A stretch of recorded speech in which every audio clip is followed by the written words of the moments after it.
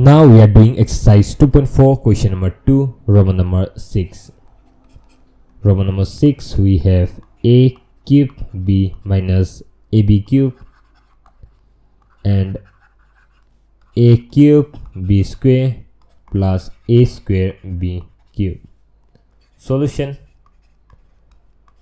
So a cube b minus a b cube. I can write down this one as a and b. Take common so if we take a b common then what's left out here is ab out. So a square. Minus from here ab out. So what's left out will be b square.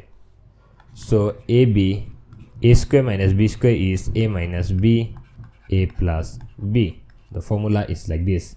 The next question write down a cube b square plus a square b cube. From these two take a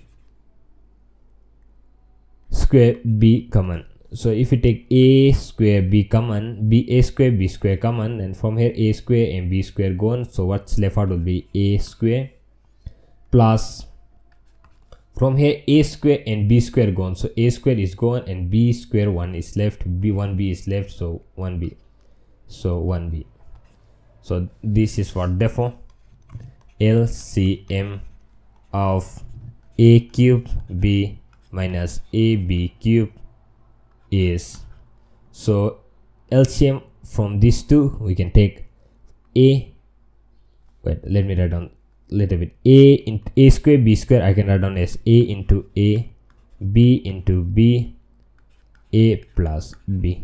Now a and a common so take a.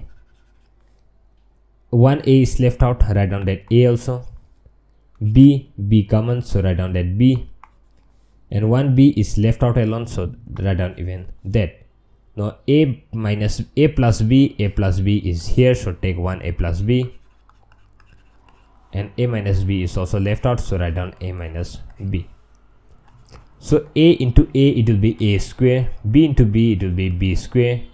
A plus b into a minus b it will be a square minus b square this is the required LCM. That's all. Thank you so much. We will meet in the next video.